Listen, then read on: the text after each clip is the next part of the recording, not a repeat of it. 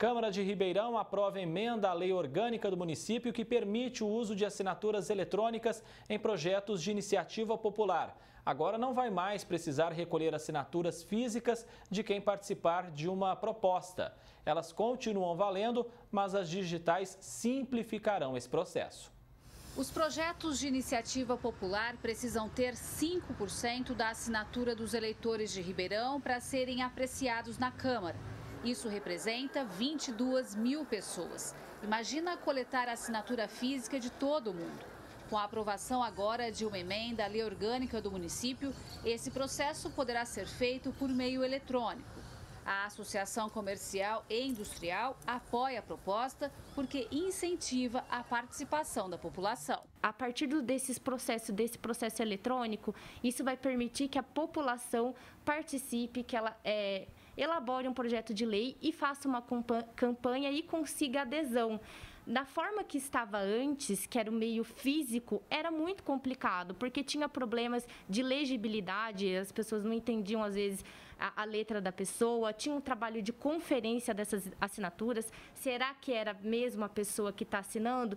Então, tinha dificuldades muito grandes. Um exemplo disso foi o que aconteceu em 2012, com a proposta de iniciativa popular 20 vereadores bastam para reduzir o número de legisladores na Câmara de Ribeirão.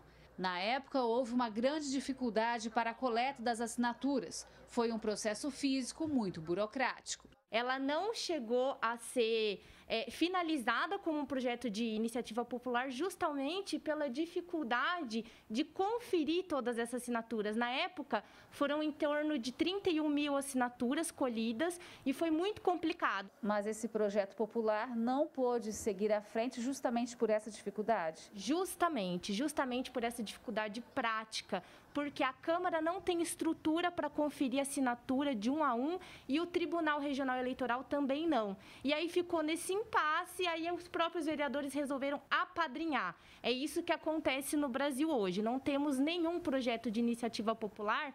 É, puro, né? Todos eles foram apadrinhados por, pelos legisladores no geral, né? A campanha 20 vereadores bastam serviu de pressão para reduzir as cadeiras, mas não acabou virando um projeto de iniciativa popular.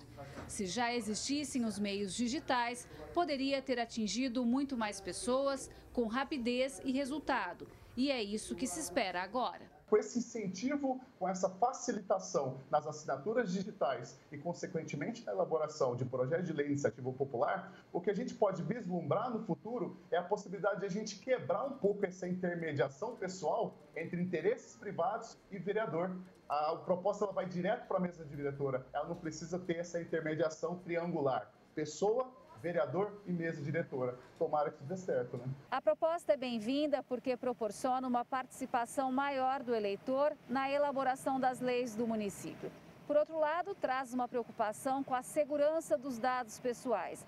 De que maneira as assinaturas digitais terão a garantia de que serão usadas pelo próprio dono? Minha maior preocupação é eventualmente o interessado, seja dentro do próprio Poder Legislativo ou algum interessado político, se utilizar de CPFs e, e cadastros de terceiros, né, uma vez que essa garantia de segurança, no meu ver, é muito difícil para eventualmente é, conseguir a, propor né, iniciativas de interesse particular, de interesse de uma, de uma camada e de repente eu, por exemplo, me ver tendo assinado algo que eu sequer tinha conhecimento de que existia. Essas assinaturas elas precisam ser monitoradas e tendo a garantia de que haja muita segurança para que a gente não tenha fraude.